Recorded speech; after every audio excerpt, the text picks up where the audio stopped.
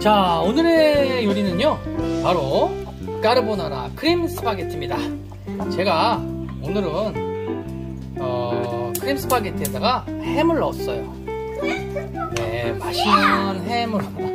리오야, 너 아빠 지금 이거 찍고 있는데, 어? 싫다 그러면 어떡하지?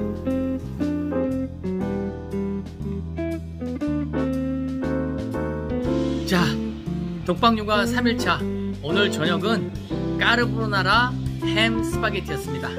애들이 맛있게 또 잘 먹고요. 지금은 또 이렇게 후식을 먹고 있어요. 아, 드디어 내일이면 독박 육아 마지막 날이네요. 마지막까지 마무리 잘하겠습니다. 파이팅! adiós!